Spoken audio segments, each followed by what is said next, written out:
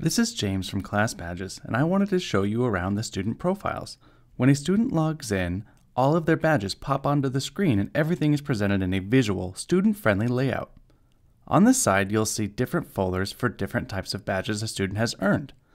The default folders are All Badges, Awarded, In Progress, Public, and Recommended. There are two different views that the students have. From the badge view, students see all their badges visually. In the classic view, badges are presented in a list where all the details and information can quickly be accessed. Within the badge view, if a student hovers over a badge, you will see the badge flip over and the student can quickly see when and who awarded them that badge. If a student clicks on a badge, the details will pop onto the screen.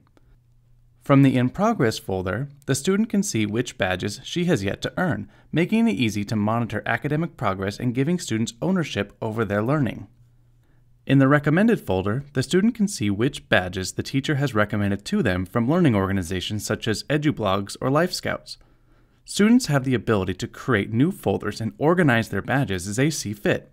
For example, a student can create a folder for the top badges that they've earned, and they can drag any badges into that folder. The public folder is where students place badges that they want to embed on their website or blog. This folder can be embedded through an embed code or a WordPress plugin. We're constantly improving the Class Badges experience and we'll be sure to update you when new features are added. Be sure to follow us on Twitter or circle us on Google Plus to get the latest updates. Happy badging!